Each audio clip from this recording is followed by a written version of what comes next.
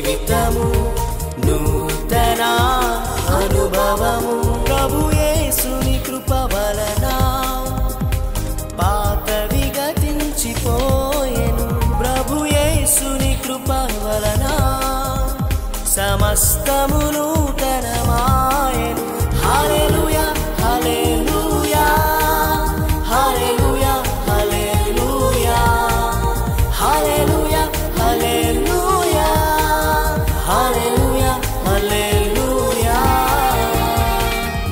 నూతన జీవము అనే ఈ క్రైస్తవ ఆధ్యాత్మిక కార్యక్రమాన్ని వీక్షించుటకు మీ అందరినీ ఆహ్వానిస్తున్నాము.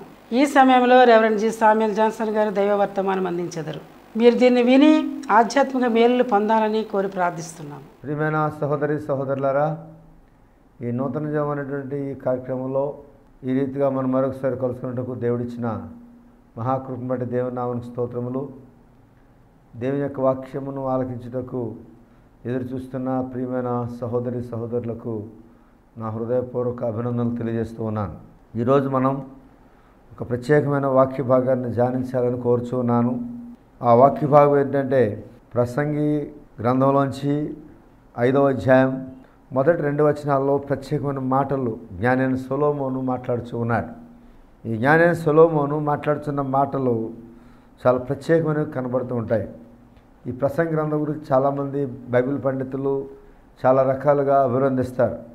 ఏదో ఒక వైరాగ్యంలో లేకపోతే ముసలితనం వచ్చిన తర్వాత సొలోమోను జ్ఞాని రాస్తాడు అని కొంతమంది రకరకాలుగా చెప్తారు.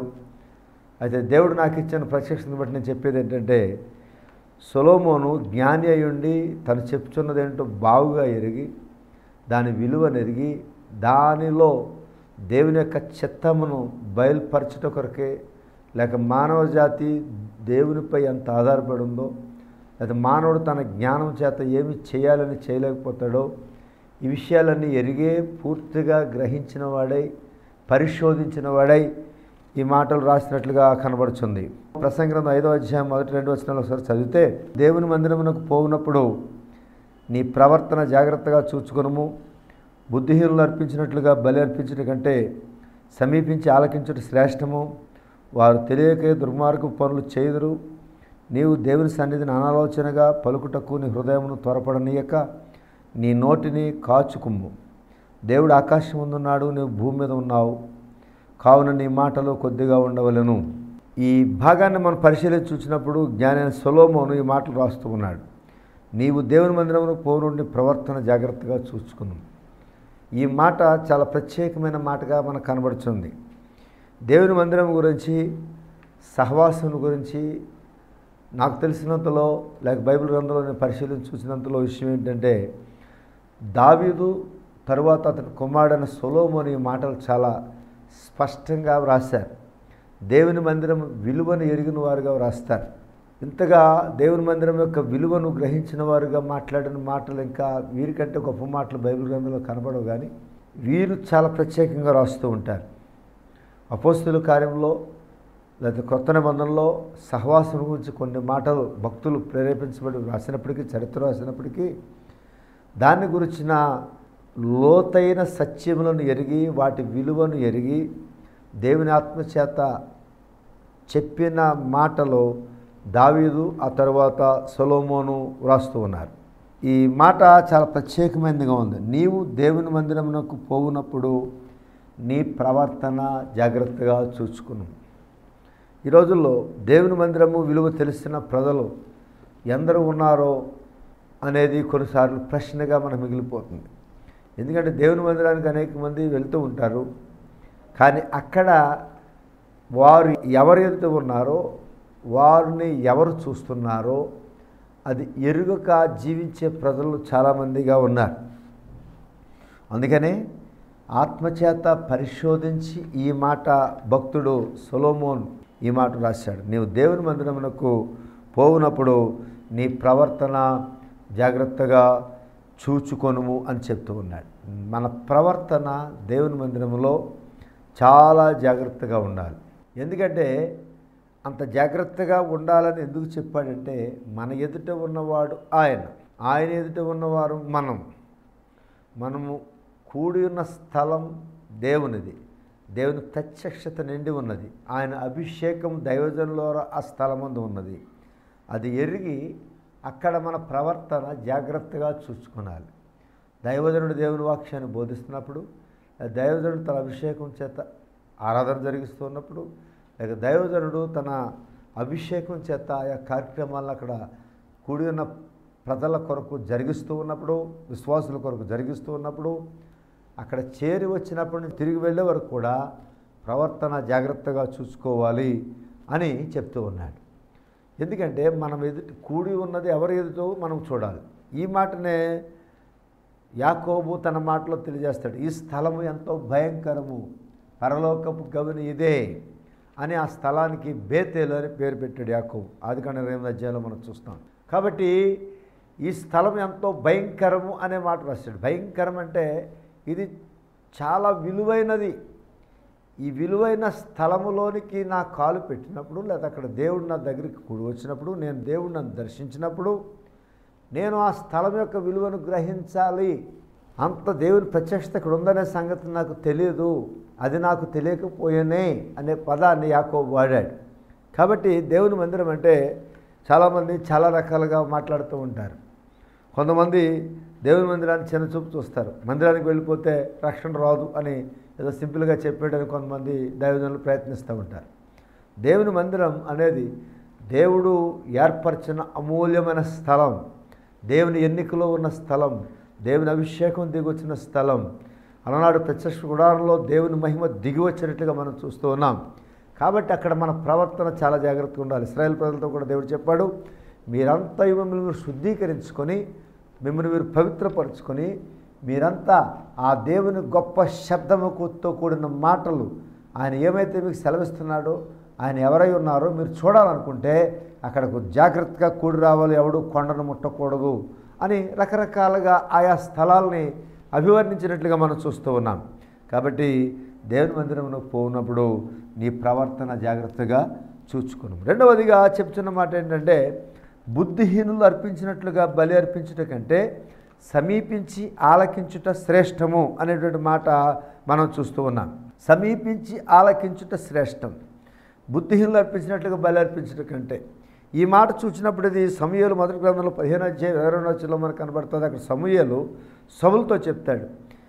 ఏమని చెప్తాడంటే చాలా ప్రత్యేకమైన మాటగా చెప్తాడు. అదే మాట రిపీట్ అయినట్లుగా మనకి ఇక్కడ కనబడుతుంది. అదే మాటను సొలోమోని ఎత్తు చూపుతున్నాడా అన్నట్టుగా మనకు ఈ భాగం కనబడుతూ ఉంది. సమయాలు మొదటి గ్రంథం పదిహేను వచ్చి ఇరవై రెండు వచ్చిన చూస్తే తాను సెలవిచ్చిన ఆజ్ఞను ఒకడు గైకొనటం వలన యహోవా సంతోషించినట్లు ఒకడు దహన బలులను బలులను అర్పించడం వల్ల ఆయన సంతోషించిన? ఆలోచించము. బలు అర్పించడం కంటే ఆజ్ఞను గైకొనటయు పొట్టేళ్ళ కొవ్వు అర్పించడం కంటే మాట వినుటయు శ్రేష్టము అని సమూయలు సౌలుకు గొప్ప హెచ్చరిక చేస్తూ ఉన్నాడు. ఆ హెచ్చరిక ఎంత గొప్పదంటే ఒక శిక్షను దేవుడు పంపిస్తాడో. నువ్వు చేసింది దేవుడికి కోపాన్ని రప్పించింది అని సమూయలు సవులతో చెప్తాడు. ఎందుకంటే దేవుడు చెప్పిన పనిని చెప్పినట్లుగా సౌలు చేయలేదు.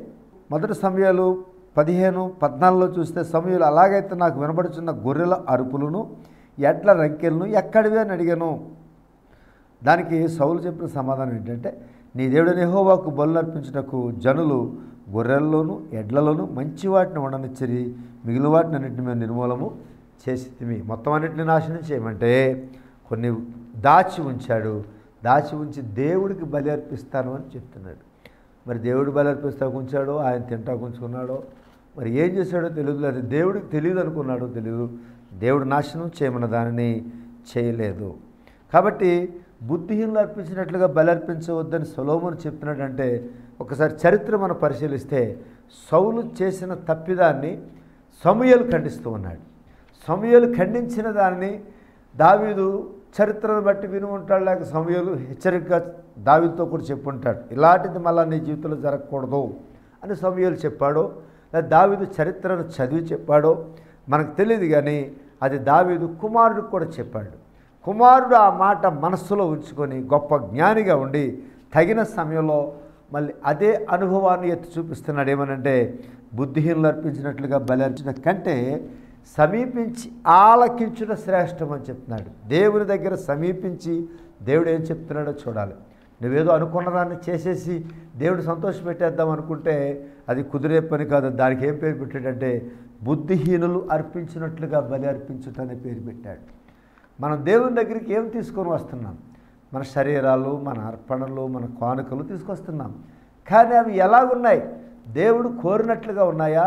దేవుడు కోరినది ఒకటైతే నువ్వు ఇంకోటి తీసుకొచ్చి దేవుడా అది కాదు దీని సంతోషించని చెప్పినట్లుగా ఉండడానికి వీలు లేదు. ఒకసారి యాకోబు తన మనవల్ని ఆశ్రయిస్తున్నాడు. యోసేపు కుమారుని ఆశ్రయిస్తున్నప్పుడు కుడి చేతి కిందకు వచ్చేలాగా పెద్ద కుమారుని ఎడం చేతి కిందకు వచ్చేలాగా చిన్న కుమారుడిని తీసుకొచ్చాడు యోసేపు.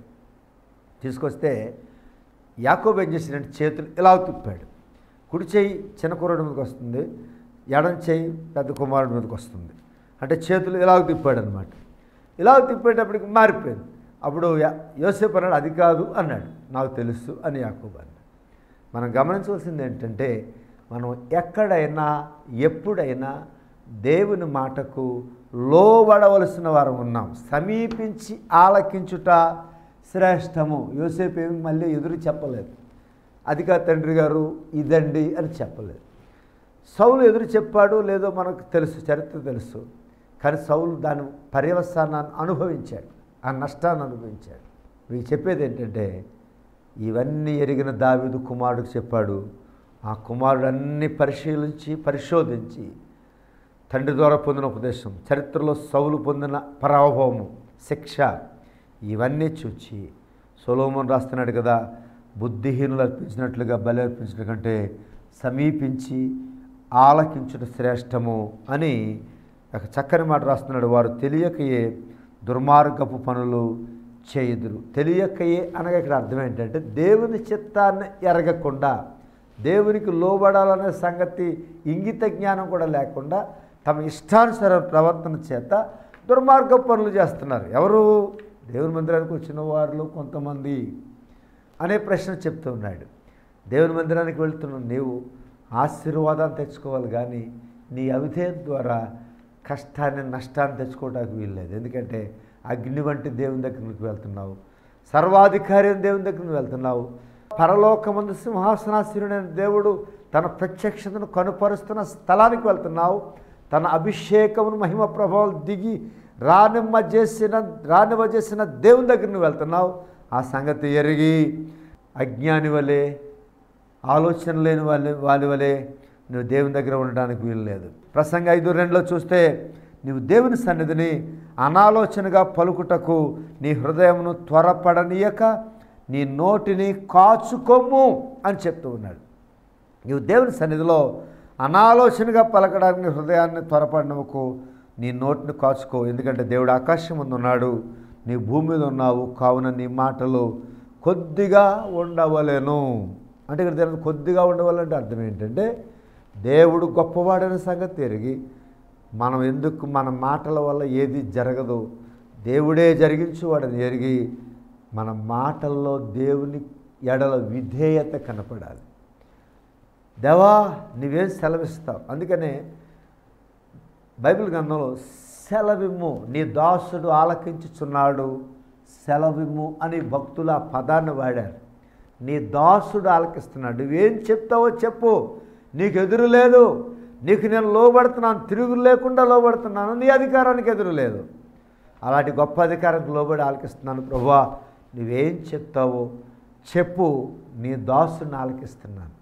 ఇదే ప్రతి వ్యక్తి దేవుని ఎదుట ప్రవర్తించవలసిన విధానం తప్ప వేరొక ప్రవర్తన చేత దేవుణ్ణి మెప్పించలేవు పైగా నీకు నీవు కోరి నష్టాన్ని తెచ్చుకుంటావు. కాబట్టి దేవుడు పరలోకముందున్నాడని ఎరిగి మనం దేవునికి అర్పించవలసిన వారముగా దేవునికి లోబడవలసిన వారంగా మనం ఉన్నాం.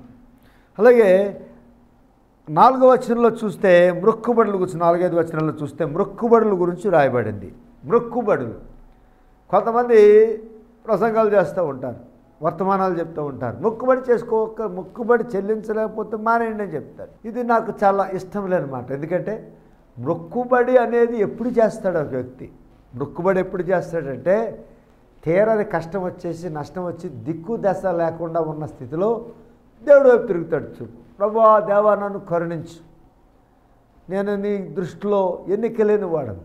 నా మాటలు నా పనుల చేత నేను మెప్పించలేను. నేను వట్టివాడను. నన్ను క్షమించము అని అడిగి నీవు నాకు ఉపకారం చేస్తే నేను ఎలాగో లోబడతాను.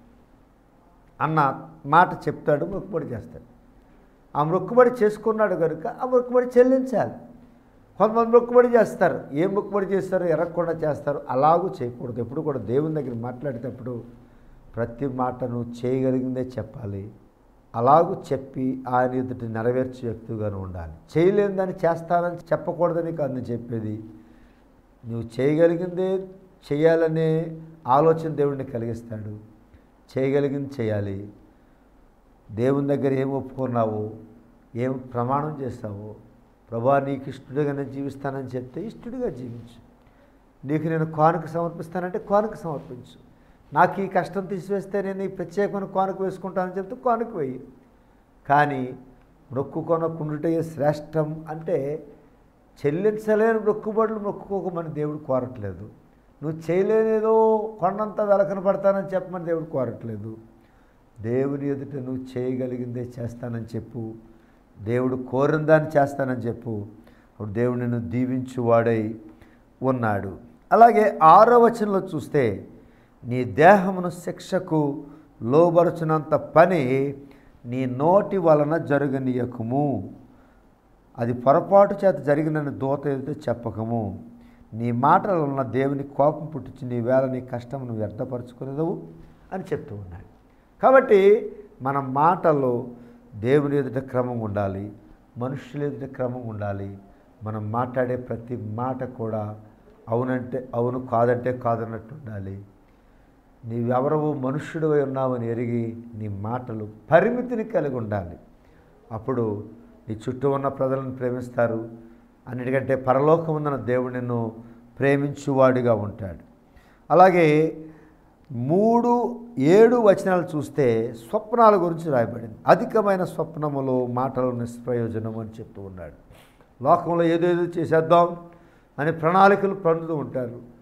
బాబిల గోపురం కడదామన్నప్పుడు ప్రజలు ప్రణాళిక పోయినారు దాన్ని దేవుడు చెడగొట్టాడు. నీ ప్రణాళికలు ఏవో ఊహించుకుని చేయటం కాదు. దేవునికి లోబడి నీ ప్రణాళిక ఉంటే దేవుడు దాన్ని అనుకూలపరుస్తాడు దాన్ని నెరవేర్చగలవు. లేనిపోని వాటి చేత రేపబడిన హృదయాలు కలిగి మనం ఇష్టం వచ్చినట్టు ప్రవర్తించడం ద్వారా దేవుని ప్రేమను పొందలేము దేవుని దయను పొందలేము. దేవుడు పైన ఉన్నాడని ఎరిగి ఆయన భయభక్తులు కలిగి జీవిస్తే దేవుడిని జీవితాన్ని దీవెనకరంగా చేస్తాడు. ఈ సమయంలో ప్రకటించబడిన మాటలను బట్టి దేవుని ఎదుటికి వచ్చిన నీవు దేవుని ఎదుట సరైనదిగా మాట్లాడాలి. యోనా దేవుని సన్నిధిలోంచి పారిపోయినట్లుగా ఒప్పుకున్నాడు. అలాగూ దేవుని సన్నిధిలోంచి పారిపోయినట్టుగా అంటే దేవుడు చెప్పింది చేయకుండా తప్పించుకొని తిరుగుచున్న వాని వలె అటు దాని వలె నువ్వు ఉంటే ఇప్పుడే నీ జీవితాన్ని మార్చుకొని దేవునికి అప్పగించి దేవునికి లోబడు నేను ఒక శ్రేష్టమైన వ్యక్తిగా దేవుడు చేస్తాడు. నేను తల ఎత్తువానిగా దేవుడు చేస్తాడు. చెప్పబడిన వాక్యాన్ని బట్టి మీరు ఒక్కసారి మీ మనసులో దేవుని తిప్పండి దేవుని మందిరంలో పోనప్పుడు నీ ప్రవర్తన జాగ్రత్తగా చూసుకోవాలి. దేవుడు సన్నిధి మనతో ఉన్నదని ఎరిగి ఎక్కడున్నా బయట ఉన్నా ప్రయాణం చేస్తున్నా పని చేస్తున్నా ఉద్యోగాలు చేస్తూ ఉన్నా ప్రతి స్థలమందు దేవుని సన్నిధి ఉంది. దేవుడు చెప్పిన దాని నుంచి తప్పించుకు తిరిగితే దేవుని సన్నిధిలోంచి నువ్వు పారిపోతున్నట్టు లెక్క. అది ఎరిగి దేవునికి లోబడి ఆయన కొరకు జీవించాలి. బుద్ధిహీనుల ప్రవర్తన వలనే ప్రవర్తన ఉంటే నీ బలి దేవుడు అంగీకరించడు. సమీపించి ఆలకించి నీ దాసుడు ఆలకించున్నాడు. నీవు సెలవిమ్ము అని దేవునితో చెప్పే పరిస్థితిలో దేవుని దగ్గరికి వస్తే దేవుడు తన ఆశ్చర్యకరమైన కృపను మీతో ఉంచి తన గొప్ప ప్రణాళికని జీవితంలో నెరవేరుస్తాడు. అలాగే మీ జీవితాలు దేవుని సమర్పించండి. ప్రార్థన చేసుకుందాం కళ్ళు మూసుకోనండి. పరిశుద్ధులని మా తండ్రి నీ ఘనమైన నామనకు స్తోత్రం. నీ ప్రియమని బిడ్డలు చేరువచ్చి ఉన్నారు నీ వాక్యం ఆలకించున్నారు నీవు నా హృదయంలో ఉంచిన నీ ఆత్మ ప్రబోధం నీ అభిషేకం బట్టి నీ బిడ్డలకు కొన్ని విషయాలు బోధించావు వీటిని బట్టి నీకు దగ్గరగినట్లు వీరి హృదయాలను తెప్పరేలా చేయమని. వీరికి నీ ఎడల విధేయత కలిగి మనసు కలిగించి నీ మహిమ ప్రభావాలు వీరి జీవితంలో కనుపరచబడినట్లు నెరవేరినట్లు వారు ఫలించి అభివృద్ధి పొందినట్లు ప్రతి ఆశ్చర్యకారి వీరు కొరకు చేయము. సాతాను కుయుక్తులు ఏదైనా ఎవరైనా వ్యాధిగ్రస్తులు అంటే ముట్టి స్వస్థత కలిగించం ఎవరైనా సమస్యలతో విడుదల దయచేయం సౌలు వలె నువ్వు చెప్పింది ఒకటి వారి మీద ఒకటి చేసి నిన్ను వెప్పించాలని ప్రయత్నాలు చేసేవారుగా కాకుండా దావీదు సొలోమోన్ల వలె నీకు లోబడి నేను వెంబడించి బిడ్డలుగా ప్రతి వారిని నీ కొరకు బలపరచమని నీ ఆశ్చర్యకరణ కృపను వీరితో ఉంచి భద్రపరచమని కోరచ్చు విత్తబడిన వాక్యం వారి జీవితంలో ఫలింపచేయమని కోరచ్చు ప్రతి అక్కరాన్ని సమృద్ధిలోంచి తీర్చి నీ కృపను చూపించమని కోరచ్చు ఏసు పరిశుద్ధన నడుచున్నాం తండ్రి. అమేన్ ప్రియమైన సహోదరి సహోదరులరా మీ అక్కర్ల గురించి మీ కొదుల గురించి మాకు ఫోన్ ద్వారా తెలియజేయవచ్చు మాకు ఉత్తరములు రాయవచ్చు స్క్రీన్లో చూపించబడుతున్న అడ్రస్కు రాయవచ్చు స్క్రీన్లో చూపించబడిన ఫోన్ నెంబర్లో ఫోన్ చేయవచ్చు. మీరు ఏ సమయంలోనూ మాతో నిరభ్యంతరంగా మాట్లాడవచ్చు. మీ కొరకు మేము ప్రార్థిస్తాం. మీకు దేవుని వాక్యాన్ని బట్టి ధైర్యం చెప్తాం. దేవుని మాటల చేత మీరు దీవించబడి అభివృద్ధి పొందండి.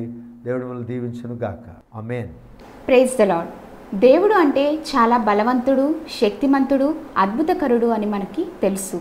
అయితే బైబిల్లో మనం గమనిస్తే దేవుడు మనకు తండ్రిగా ఉన్నాడని బైబిల్ మనకి వివరంగా చెప్తుంది. అటువంటి గొప్ప దేవుడు మానవునికి తండ్రిగా ఉండటం చాలా ఆశ్చర్యకరమైన విషయం. అయితే మీరు దాన్ని మనకు ఎలా ఆయన తండ్రిగా ఉన్నాడో మీ మాటలో వివరించండి. పరిశుద్ధ గ్రంథంలో మనం చూస్తే దేవుడు మనకి తండ్రి అయి ఉన్నాడు. ఆయన దేవుడు మాత్రమే కాదు ఆయన మనకు తండ్రి అయి ఉన్నాడని సెలవిస్తున్నది. తండ్రి అనగా మనం పిల్లలమై ఉన్నాం. ఎలా పిల్లలమయ్యామంటే మనము దూరస్తులమే కానీ ఈ రోజున దేవుడు ఎంతో ప్రేమతో ఆయన తండ్రి అయిన దేవుడు తన రెండో వ్యక్తిత్వమైన తన కుమారుడైన యేసుక్రీస్తు నందు మన జీవితాలను ఆయనకు కుమారులుగా ఈ రోజున ఆశీర్వదించాడు. యోహాన్ సువార్త మొదట అధ్యాయంలో మాట మనకు కనిపిస్తుంది. ఈరోజు అందరికీ ఆయన తండ్రిగా లేడు కానీ కేవలం యేసుక్రీస్తును నమ్ముచున్న వారికి ఇట్టి అధికారం అనుగ్రహించబడినది. తను ఎందరు అంగీకరించుదురో వారికందరికీ అనగా తన నామమునందు విశ్వాసం ఉంచిన వారికి దేవుని పిల్లలగుటకు ఆయన అధికారము అనుగ్రహించి ఉన్నాడు. ఈ రోజున ఎందరైతే యేసును నమ్ముచున్నామో రక్షకునిగా స్వీకరించామో ఆయన రక్తంలో కడగబడ్డామో మనము పిల్లలమయ్యున్నాము అని మనం గుర్తించాలి. పిల్లలమైతే సమస్త విధమైన ఆశీర్వాదాలకి మనము అర్హులమే. ఈ రోజున ఈ విధంగా పిల్లలు అవ్వాలని అంట తండ్రి అయిన దేవుడు మన కొరకు ముందుగా గొప్ప ఏర్పాటును కలిగి ఉన్నాడు. కాబట్టి ఆయన ఎందు మనము ఎఫ్ఎస్సీలు రాసిన పత్రికలో కనబడుతుంది ఎట్లనగా తన ప్రియుని అందు తాను ఉచితముగా మనకు అనుగ్రహించిన తన కృపా మహిమకు కీర్తి కలుగునట్లు తన చిత్త ప్రకారమైన దయా సంకల్పము చొప్పున యేసుక్రీస్తు ద్వారా తనకు కుమారులుగా స్వీకరించడానికి ఈ రోజున యేసుక్రీస్తును మన జీవితాల్లోనికి ఇచ్చాడు. కుమారులుగా స్వీకరిస్తున్నాడు ఈ రోజున. మనం చాలా స్వీకరించబడి స్వకీయ సంపాద్యముగా తండ్రికి బిడ్డలమయ్యను గొప్ప స్వాస్యముగా ఆయన మనల్ని తీసుకుంటున్నాడు. మనం చాలా విలువైన వారము. ఎవరము కూడా మన అనాథలుగా విడిచిపెట్టలేదని కూడా వాక్యంలో చూస్తున్నాం. కాబట్టి రోజున దేవునితో గొప్ప సంబంధాన్ని ప్రతి ఒక్కరూ కూడా కలిగి ఉండవచ్చు. అదేంటంటే ఒక తండ్రిగా మనం ఆయనను పిలిచి మన అవసరాలలో మన పరిస్థితులలో ఆయనతో మన సంభాషణ చేయొచ్చు. ఇది ఒక మంచి రిలేషన్షిప్. అయ్యున్నది. అందుకనే పౌలు కూడా రోమిల్ రాసిన పత్రికలో ఎనిమిదవ అధ్యాయం పదహారవ వచనంలో మాట్లాడుతున్నాడు మనము దేవుని పిల్లలమని ఆత్మ తానే మన ఆత్మతో కూడా సాక్ష్యమిస్తున్నాడు ఈ రోజున ఎలాగా ఈ సంబంధాన్ని కలిగి ఉన్నాం అని ఎవరో చెప్తే కాదు కానీ మనలో నివసిస్తున్న పరిశుద్ధాత్మ దేవుడు దీన్ని దీన్ని మనకి సాక్ష్యంగా పలుకుచున్నాడు. ఈ ఆత్మ ఎందరైతే కలిగి ఉన్నామో ఆత్మచేత నడిపించబడుతున్నామన్న విశ్వాసంలో మనం ఉన్నామో అదేవిధంగా రోమిలికి రాసిన పత్రిక ఎనిమిదో అధ్యాయం పదిహేనో వర్షం నుంచి మనం చూస్తుంటే ఎవరు చెప్తున్నారు ఈరోజు మన పిల్లలు మన సాక్ష్యం అని చూస్తే దేవుని ఆత్మే మన తరపున సాక్ష్యమిస్తున్నాడు. పదహారో వచనం మనం దేవుని పిల్లలమని ఆత్మ తానే మన ఆత్మతో కూడా సాక్ష్యం ఇస్తున్నాడు దేవునా మనకి స్తోత్రం కలుగురుగాక ఈ రోజున ఎందరైతే gente ఏసుక్రీస్తు నమ్ముచున్నారో వారు దేవుని ఆత్మను పొందుకుంటున్నారు. పొందిన వారు ఈ రోజున పదిహేనవ వచనంలో కనబడుతుంది మరలా భయపడవలసిన అవసరము లేదు. ఎక్కడ కూడా ఈ సంబంధం మనకి లోకంలో కనబడదు. ఏ మతస్థులు కానీ ఏ గ్రంథాల్లో కానీ రాయలేదు కానీ ఇక్కడ మాత్రమే భయపడుతూ భయపడుతూ భక్తి చేసే పద్ధతులు మనం చూస్తాం. కానీ ఏసుక్రీస్తు నమ్ముకున్న వారంట మరలా భయపడుటకు మీరు దాస్యపు ఆత్మను పొందలేదు కానీ దత్తపుత్రాత్మను పొందితిరి ఆ ఆత్మ కలిగిన వారమై మనము అబ్బా తండ్రి అని మొరపెట్టుచున్నాం. దేవుని నామనికి స్తోత్రం. ఈ రోజున మనము భయము లేకుండా తండ్రి దగ్గరికి అందరూ సమీపించవచ్చు. యేసుని కలిగిన వారు అబ్బా తండ్రి అని మొరపెట్టి ఆయన వద్దకు మనం చేరవచ్చు. దేవుడు తండ్రిగా ఉన్నాడన్న విషయం మీ మాటల్లో తెలియజేయండి. దేవుడు తండ్రిగా ఉండటం అనేది మనము బైబిల్ మొత్తం అంతా మనం చూడగలుగుతున్నాం. మొదటి నుండి కూడా ఆదామవను కూడా ఒక తండ్రిగా ఆయన వారిని పుట్టించాడు. అదే రీతిగా వారిని నడిపించడానికి ఆయన నిర్ణయించాడు. అదే రీతిగా బైబిల్లో భక్తులందరినీ కూడా ఆయన గైడ్ చేసుకుంటూనే వస్తున్నాడు. అయితే మనం చూస్తే యేసుక్రీస్తు ద్వారా మనం దత్త పుత్రాత్మ కలిగిన వారంగా ఉన్నట్లుగా మన బైబిల్ చెప్తుంది. అయితే యేసుక్రీస్తుగా దేవుని కుమారులుగా కుమార్తెలుగా మనం తీర్చబడుతున్నాం. అయితే యేసుక్రీస్తుని నమ్మిన వారు దేవుని కుమారులుగా కుమార్తెలుగా తీర్చబడటం ద్వారా మనం నిత్యత్వాన్ని పొందుకుని ఆయనతో పాటు నిరంతరం జీవించేవారుగా మార్చబడుతున్నాం. అయితే దేవుని ఎరగని వారు ఈ లోకంలో ఉన్నవారు కూడా దేవుని పిల్లలుగా ఉండటానికే దేవుడు నిర్ణయించాడు. వారి నశించిపోవాలి దేవుని పిల్లలుగా దేవుని శత్రువులుగా ఉండటం అనేది దేవుని యొక్క ఉద్దేశం కాదు. ఈ భూలోకంలో పుట్టిన ప్రతి ఒక్కరూ నిజానికి దేవుని పిల్లలే.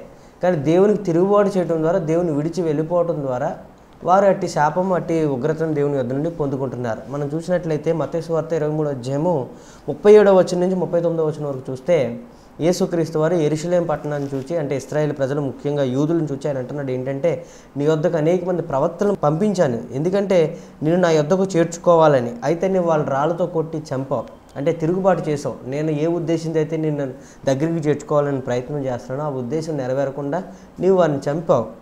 కోడి తన పిల్లల రెక్కల కింద దాచినట్లు ఎలాగైతే చేర్చుకుంటుందో అదే రీతిగా మిమ్మల్ని నా ఎద్దకు చేర్చుకోవాలని నేను ప్రయత్నం చేస్తున్నాను. కానీ మీరు వల్లకపోతున్నారని చెప్తున్నాడు అక్కడ. అంటే ఏంటంటే దేవుడు మొదటి నుండి కూడా ప్రజలను మనుషులను దగ్గరికి చేర్చుకోవాలి తన వద్ద ఉంచుకోవాలి తనకు దగ్గరగా సహవాసంలో ఉంచుకోవాలని ఆయన ప్రయత్నం చేస్తుంటే కొంతమంది భక్తులు కొంతమంది విశ్వాసం కలిగిన వారు కొంతమంది దేవుని గుర్తించి దేవుని ప్రేమను గ్రహించి తిరిగి దేవుని ప్రేమించడం ద్వారా ఆ యొక్క దేవునితో సహవాసాన్ని తండ్రి పిల్లల ఈ రిలేషన్ అనేది వారు మెయింటైన్ చేయగలుగుతున్నారు. అయితే కొంతమంది భూలోకంలో అనేక మంది కొన్ని కోట్ల మంది ప్రజలు ఇప్పటికీ దేవుడు చూపించే ప్రేమకు దగ్గరికి రాలేక ఆ రిలేషన్ అనేది వారి మధ్యలో రిస్టోర్ అవ్వలేకపోతుంది. అదే రీతిగా చూస్తే మనం లోకాసు వార్త పదిహేను అధ్యాయం చూస్తే యేసుక్రీస్తు వారు చెప్పిన ఉపమానంలో ఒక మనుషునికి ఇద్దరు కుమారులు ఉన్నారని చెప్తున్నారు. అందులో చిన్నవాడు తండ్రి నుండి దూరంగా వెళ్ళిపోవాలి. ఆస్తిలో తన వాటా తీసుకుని వెళ్ళిపోయి దుర్వ్యాపారం చేశాడు. తన ఇష్టానుసారంగా వ్యాపారం చేసి ఉన్నదంతా పోగొట్టుకుని అతడు అక్కడ ఒంటరి వాడైపోయాడు. తండ్రికి దూరంగా వెళ్ళిపోయాడు. రిలేషన్ అనేది లేదు అక్కడ. తండ్రి ఆ చిన్న కుమారుడికి అతనికి. అయితే తండ్రికి ఆల్రెడీ పెద్ద కుమారుడు ఉన్నాడు. తండ్రి వద్దే ఉన్నాడు. అక్కడ వాళ్ళిద్దరి మధ్యలో రిలేషన్ బాగుంది. కానీ చిన్న కుమారుడు తండ్రితో రిలేషన్ పోగొట్టుకున్నాడు. కానీ తండ్రి ఏ రిలేషన్ పోయింది కదా నా చిన్న కుమారుడితో నాకు ఏ సంబంధం లేదని విడిచిపెట్టకుండా ఆ చిన్న కుమారుడి కొరకు ఎదురు చూస్తూ ఉన్నాడంట వచ్చే వరకు.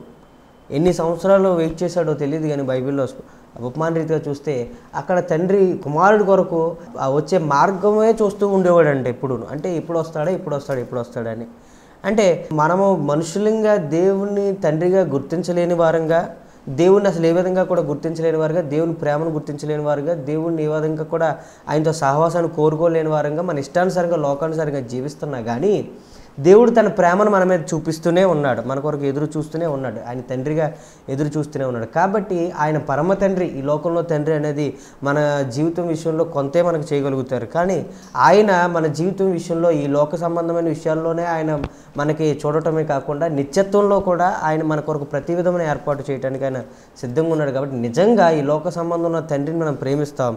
దానికంటే ఎక్కువగా పరలోకముందున్న తండ్రిని మనం ఎక్కువగా ప్రేమించి ఆ సహవాసాన్ని ఆ రిలేషన్ రిలేషన్ని ఎక్కువగా మనం కోరుకునే వారంగా ఉండాలి.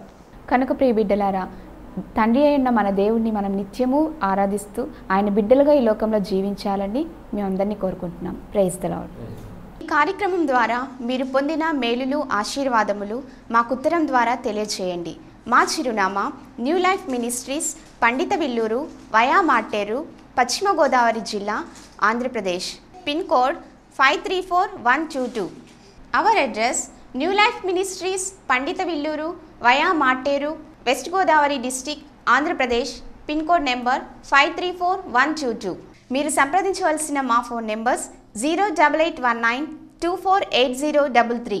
మా mobile number double nine eight nine three nine five seven zero five. మరి యొక్క number double nine six three two eight six two nine seven.